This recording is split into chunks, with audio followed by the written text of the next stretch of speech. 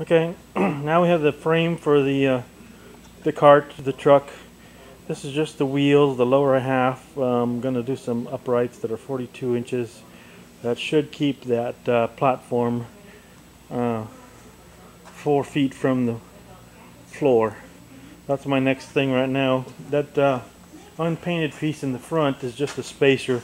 I really uh, try not to have uh, that piece on there when I'm uh, completely finished. That'll help uh, disguise the the rest of the undercarriage of the uh, support beam for the bridge till it kind of disappears.